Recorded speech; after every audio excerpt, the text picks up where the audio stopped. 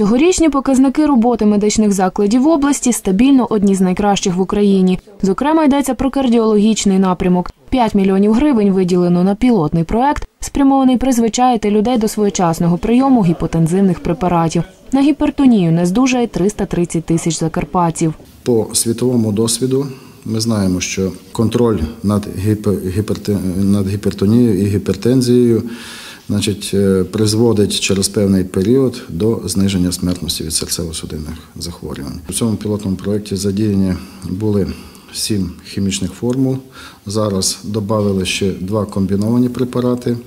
Е, І тому можливість е, призначати значно збільшилася гіпотензивні препарати для хворих. Обсяг надаваної медичної допомоги кардіологами Закарпаття майже такий, як у Дніпропетровській області. Проте, враховуючи суттєву різницю в кількості населення, очевидно, що закарпатські кардіологи працюють чи не найінтенсивніше. Тож і мережа закладів кардіологічної допомоги потребує розбудови. Маємо велику надію на е, реперфузійну лабораторію в місті Мукачеві, яка вже на сьогоднішній день на завершальному етапі і формування такої реперфузійної лабораторії в місті Хусті.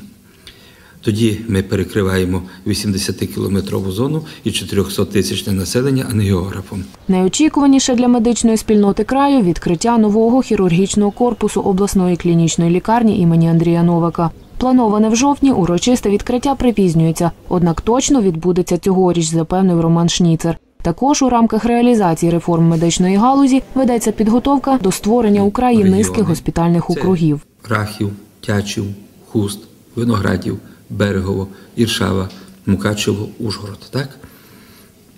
які, в принципі, на сьогоднішній день мають відносно потужну госпітальну базу, і вони можуть бути трансформовані в госпітальні округи, куди будуть приєднані такі райони, як Перечинський, Березнянський, Ужгородський, Міжгірський, Олівецький. Пріоритетною в краї залишається боротьба з туберкульозом, снідом, діабетом, актуальні програми безпечного материнства та зниження малюкової смертності. Останню за три роки вдалося знизити майже на 50%. Та проблема смертності малят усе ще не вирішена. Зокрема, поширена вона серед ромського населення, представниці якого практикують занадто ранню вагітність, як цьогорічний випадок в 11 років, так і занадто пізнього материнства, однаково небезпечного для здоров'я породілі та немовляти.